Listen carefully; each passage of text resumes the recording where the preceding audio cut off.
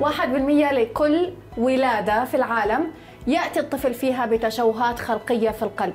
تقف وراءها أسباب وعوامل خطر كثيرة. للتحدث أكثر عن هذا الموضوع اللي للأمانة طلب منا من كثير من المشاهدين سنتحدث عنه مع ضيفنا في الاستشارة الطبية دكتور خالد السلايمة استشاري قلب أطفال. مرحبا دكتور خالد. أهلا بك ست آيات. أهلا وسهلا فيك ومشاهديني حياك الله دكتور خالد. ما حبيت كثير. أحكي في ال intro. سنترك المجال لك. تشوهات الخلقية يا دكتور للقلب عند الأطفال ما هي أنواعها وهل فعلا يوجد لها أشكال متعددة؟ اولا يعني أشكرك على طرحك لهذا الموضوع والذي يهم الكثيرين من الناس أود أن أنوه بأن التشوهات الخلقية في القلب هي القلب هو أكثر عضو في الجسم يصيب تشوهات ولذلك وذلك لتعقيد تكوين القلب أثناء فترة التكون في عند الجنين. نعم. أسبابها للحقيقة غير معروفة بشكل كامل. نقول نحن في تخصصنا إنه مالتي فاكتوريال يعني عدة عوامل نعم. هناك عوامل بيئية قد يكون هناك عوامل جينية وراثية ولكن قد يكون هناك أدوية قد يكون هناك أمراض ولكن بشكل عام نحن لا نعرف السبب المباشر للتشوهات الخلقية في القلب نقسم التشوهات الخلقية في القلب إلى نوعين. نعم. النوع الأول هو النوع الذي لا يسبب إزرقاق وهي أكثر شيوعا. تمثل تقريبا 70 إلى 80% من التشوهات الخلقية في القلب. والتشوهات الخلقية النوع الثاني هي التشوهات التي تسبب إزرقاق. وتكون ملحوظة للأهل. ملحوظة للأطباء والأهل مباشرة عند الولادة. هذا صحيح. النوع الثاني. النوع الأول لأنه ما في إزرقاق فقدرة الملاحظة تكون أقل ولكن كذلك هناك يعني عدة طرق للكشف عن التشوهات الخلقية في القلب دكتور عندما نتحدث عن النوع الأول عند وجود إزرقاق لدى الطفل ماذا نقصد بالإزرقاق؟ هل هو فقط في منطقة الشفة أم في أماكن متعددة من الجسم؟ سؤال مهم جدا الإزرقاق هو أن نسبة الأكسجين في الدم منخفضة. نعم. النسبة الطبيعية للأكسجين في الدم هي فوق ال 93 فإذا كانت نسبة الأكسجين في في الدم أقل من 93 إذا هذا اسمه إزرقاق بالتعريف.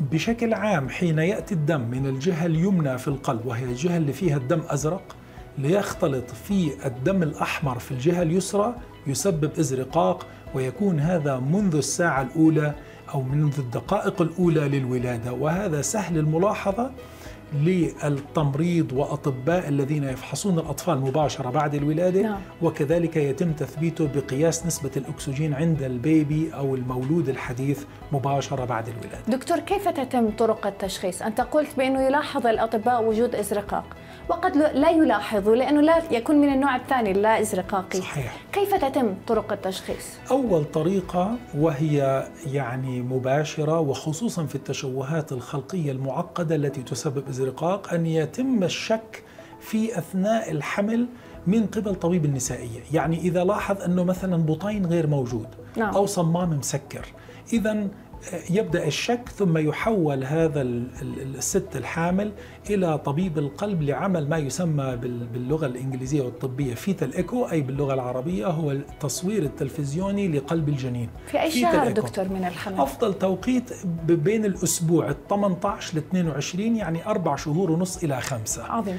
للكشف عن التشوهات الخلقية و تقريبا غالبية التشوهات الخلقية المعقدة التي تسبب ازرقاق إذا كان في طبيب متدرب على قلب الأطفال لفحص قلب الجنين يتم نعم. الكشف عنها مباشرة حتى لو كان جهاز الفحص هو 1 D أو 2 D الموجود في العيادات النسائيه السؤال مهم حتى نبدد بعض يعني سوء الفهم. البعض يعتقد لازم ال 4 D صحيح. ال fetal echo لا يحتاج إلى 4 D هو 2 D echo العادي اللي هو الصورة التلفزيونية المعتادة لقلب ما بعد الولادة.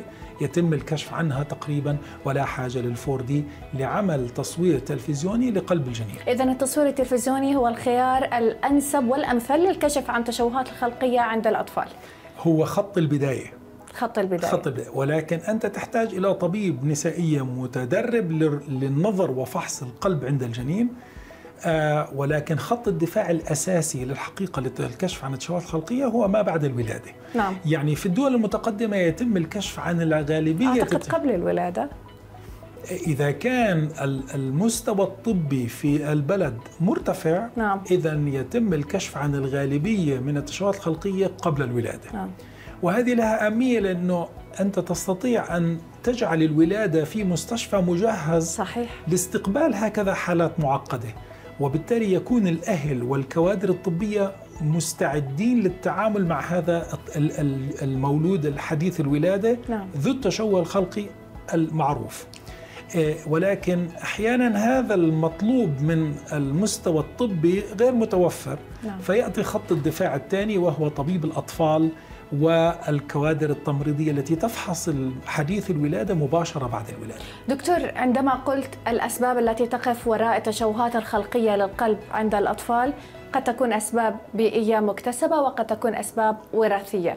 دعنا نلقي ضوء على الأسباب البيئية أو الأسباب المكتسبة. دائما ما يلقوا اللوم على الأم، يقولوا بأن الأم هي التي تسببت بهذا التشوه الخلقي في القلب عند الطفل. إما بالتدخين أو كان لديها مرض سكري أو أصيبت بالحصوة النكاف وما إلى آخره من هذه الأمراض ممكن تصاب بها المرأة أثناء الحمل هل هذه المعلومة صحيحة وإن كانت غير صحيحة أرجو أن تصححها لي يعني حضرتك سألتي سؤال مهم جدا وسأحدثك عن خبرتي في الموضوع زائد سنتحدث عن العلم ماذا يقول نعم. أولا السيدة الشرقية تشعر بالذنب مباشرة صحيح. وتعتقد أنها المسبب ولكن هي لا علاقة لها إذا كانت هي آه، لا تدخن وإذا لم تكن تشكو من أي مرض هلا أنا ليش استثنيت التدخين وال والأمراض؟ هلا السيدة التي لديها سكري معرض الجنين أن يكون لديه تشوه خلقي في القلب خمسة أضعاف عن السيدة التي لا يوجد لديها سكري. حتى وإن كانت تستخدم علاجاتها وأدويتها بشكل منتظم؟ هلا السكري اللي مسيطر عليه أثناء الحمل هذا ما اقصده آه آه يعني النسبة تقل بشكل كبير. عظيم. بالنسبة للتدخين هناك علاقة أحيانا ليست كبيرة ولكن اكتشفوا أنه التدخين عند الأم يرفع نسبة التشوهات الخلقية في نعم. القلب ولكن بشكل عام السيدة أو الأم ليست المسبب وهي تشعر بالذنب ولكن لا علاقة لها في الغالبية العظمى من التشوهات الخلقية في القلب دكتور دعنا نتحدث عن العلاجات وآخر ما توصل إليه الطب، تتعدد أشكال التشوهات، هل بناء على ذلك تتعدد أشكال العلاجات؟ سؤال مهم. آه، اولا يعني حدث طفرة كبيرة جدا في آخر 20 إلى 25 سنة في طرق العلاج.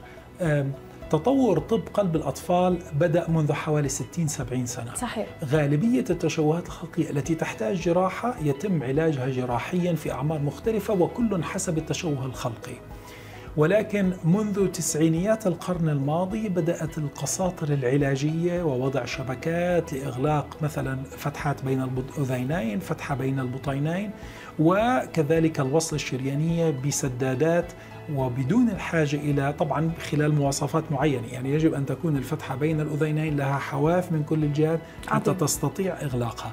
ولكن في آخر 15 إلى 20 سنة بدأ وضع صمامات رئوية بالقسطرة مكان الصمام الذي يحتاج تغيير.